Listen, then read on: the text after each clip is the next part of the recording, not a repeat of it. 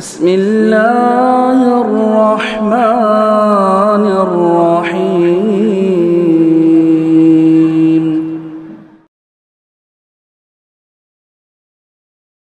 السلام عليكم ورحمة الله وبركاته نحمده ونصلي على رسوله الكريم أما بعد సోదర సోదరిమన్లారా మహాశయులారా వీక్షకులారా మన సమాజంలో ఎన్నో మూఢనమ్మకాలు ప్రచారములో చలామణలో ఉన్నాయి.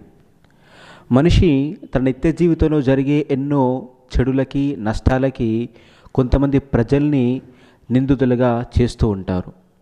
ఒక వ్యక్తి తమ ఇంటి నుండి బయటికి వెళ్ళిన తర్వాత అతడు చిన్న యాక్సిడెంట్ గురి కావడమో లేదా నష్టానికి గురి చేయడమో నష్టానికి గురి కావడమో జరుగుతుంది. దానికి వ్యక్తి ఏమంటాడు? ఈరోజు పొద్దున ఎవరి ఎవరి ముఖం చూశానో ఈరోజు నేను ఇంటి ఇంటి నుండి బయటికి వచ్చేటప్పుడు ఏ ఒక దుశ్శకనం వచ్చిందో ఏ వితంతు వచ్చిందో అని ఈ విధంగా భావిస్తూ ఉంటాడు. సోదర మహాశాలారా ఒక వితంతు ముఖం చూడడం వల్ల లేదా ఒక దరిద్రుడి ముఖం చూడడం వల్ల ఒక బీదవాడి ముఖం చూడడం వల్ల అంటే ఇలా ఒకరి ముఖాలు చూడడం వల్ల లేదా మన ఇంటి నుండి బయటకు వచ్చేటప్పుడు పిల్లి ఎదురు రావడం కానో ఎవరు తుమ్మడం కానో లేదు పక్షి వల వచ్చి వలడం కానో ఇలాంటి వాటికి ఎలాంటి సంబంధం లేదు మన నిత్యంలో జరిగేటువంటి లాభ నష్టాలకు అందుకొరకే దైవ ప్రవక్త సల్లల్లాహు అలీ వసల్లం గారు ఇలా తెలియజేశారు. ఈ హదీసు సహీల్ జామయిలో సిక్స్ టూ సిక్స్ ఫోర్ అంటే అరవై రెండు అరవై నాలుగు ఒక హదీస్ నెంబర్ ఇందులో పేర్కొనడం జరిగింది.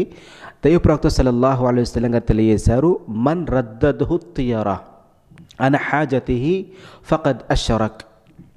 అంటే ఈ దుశ్శకనం అనేది అపనమ్మకం అనేది చెడు జరుగుతుంది అనేది ఏదైతే ఉందో ఇలాంటి భావన ఒక వ్యక్తిని తన అవసరం నుండి తన పని నుండి ఆపుతుందో ఫకద్ అషరక్ అతడు షిర్కు చేసినట్టే బహుదైవారాధనకు పాల్పడినట్టే అని దైవప్రవక్త గారు తెలియజేశారు.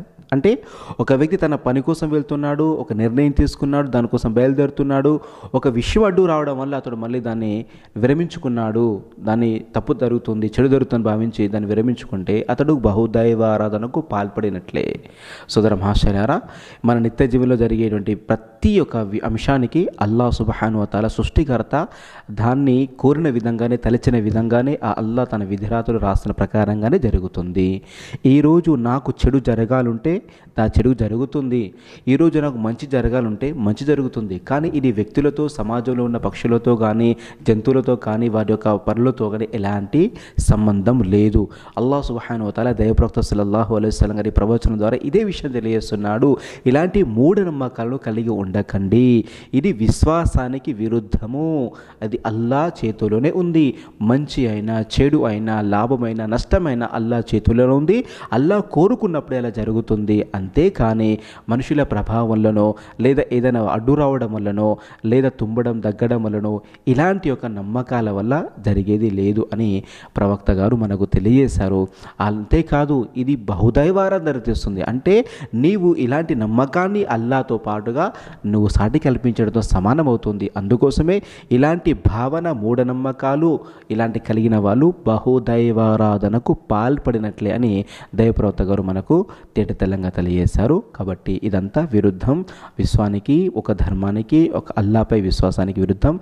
కాబట్టి సోదరులారా ప్రతి ఒక్కరు కూడా ఇలాంటి మూఢనమ్మకాలను విడనాడి అల్లాపై మాత్రమే భారం వేయాలి. అల్లా సుబహానుతల మనందరికీ మూఢనమ్మకాలు మూర్ఖత్వ పనుల నుండి మనకు అల్లా సుబహానుతల జ్ఞానాన్ని ప్రసాదించుగాక.